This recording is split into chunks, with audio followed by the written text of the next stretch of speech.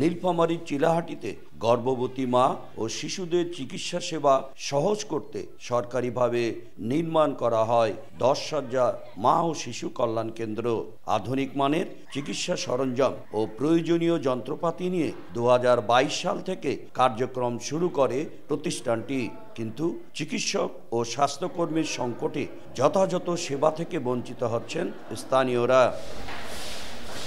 এই কেন্দ্রটির জন্য একজন এমবিবিএস ডাক্তার সহ তেরো জনের জন্য চাহিদাপত্র দেওয়া হয়। বর্তমানে ডেপুটেশনে উপসহকারী কমিউনিটি মেডিকেল অফিসার একজন, ফার্মাসিস্ট একজন, নারী পরিদর্শিকা একজন ও স্থায়ী একজন পরিদর্শিকা দিয়ে চলছে কেন্দ্রটি।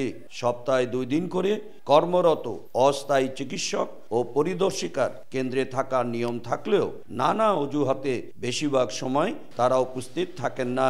ফলে দূর দূরান্ত থেকে আসা গর্ভবতী মা ও শিশুরা পড়েছেন চরম দুর্ভোগে।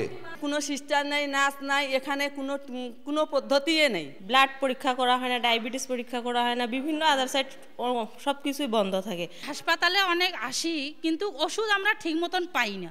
এভাবে আমরা আসি ঘুরে চলে যাই। মাতৃসদন হাসপাতালটি দাঁড়ে থাকলেই হবে না এখানে একজন ডাক্তারের প্রয়োজন। বেড একটাতে রুগীকে দুই মিনিট রেস্ট নিবে এটারও কোনো ব্যবস্থা নেই নাকি তালাবদ্ধ করে দিচ্ছে জেলা পরিবার পরিকল্পনা দপ্তরের কর্মকর্তা জানান ইতোমধ্যে অধিদপ্তর মন্ত্রণালয়ের পদ সৃজনের জন্য আবেদন করা হয়েছে। রিসেন্ট দুই এক সপ্তাহের মধ্যে তিনশো একানব্বই জন ডাক্তার জয়েন করবেন। হয়তোবা এই তিনশো একানব্বই জনের মধ্যে থেকে প্রতিটা এমসিডব্লিউসিতে এটাও একটা খবর আছে যে এমসিডব্লিউসিতে অন্ততপক্ষে একজন ডাক্তার দেবেন। জেলায় তিনটি দশ সজ্জার মা ও শিশু কল্যাণ কেন্দ্র নির্মাণের কথা থাকলেও শেষ হয়েছে দুটির কাজ। শাকির হোসেন বাদল, সময় সংবাদ, নীলফামারী।